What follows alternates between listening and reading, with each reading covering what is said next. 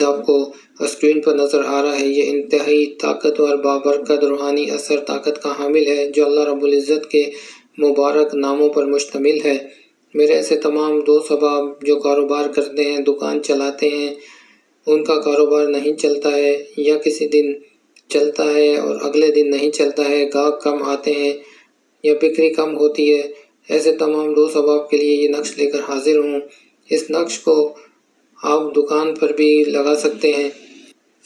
और घर पर भी लगा सकते हैं। या एक नक्श आप अपने कारोबार की जगह पर रख सकते हैं, लगा सकते हैं और एक नक्श को आप लिख कर घर पर भी रख सकते हैं। मेरे दोस्तों, इस नक्श को आपने जुमेरात वाले दिन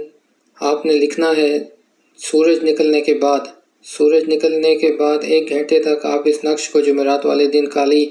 स्याही से रोशनाई से लिख सकते हैं, तैयार कर सकते हैं और फिर इसे फ्रेम करवा कर दुकान पर कारोबार की जगह पर लगा सकते हैं और एक नक्श को घर पर लगा सकते हैं। इन ताला, अगर घर भी बाँध दिया गया है या घर के अंदर कोई रूहानी मसाइल हैं, असरात हैं, बीमारियाँ हैं तो इन ताला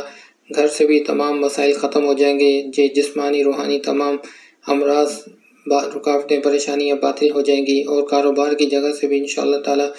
तमाम असरात, इस तरह के बद असरात बातिल हो जाएँगे, बंदिशें बातिल हो जाएँगी। और मेरे तमाम दो सबाब जो इस नक्श को लिख कर अपने कारोबार या मकान पर लगाएँगे, घर पर लगाएँगे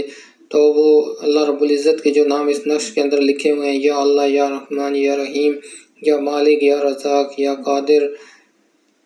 और इसके अलावा जो है काफ़ी अलमहमत अल्लाहमद या कफ़ील हो या अल्लाह हो इन तमाम असमा का आपने जो है ना, असमाल हुसना का आपने जो तावीज़ के अंदर मौजूद हैं, तीन सौ तेरह मरतबा रोज़ाना विरद भी कर लेना है तो इन ताला नूर अला नूर हो जाएगा। आपके तमाम मसाइल कारोबार के हल होंगे, तमाम मुश्किल हल होंगी, कारोबार कारोबार चल पड़ेगा और खूब बिक्री होगी, गाहक आएँगे और इन ताला अगर घर को भी बांधा हुआ है तो इन ताला घर भी इन तमाम मसाइल से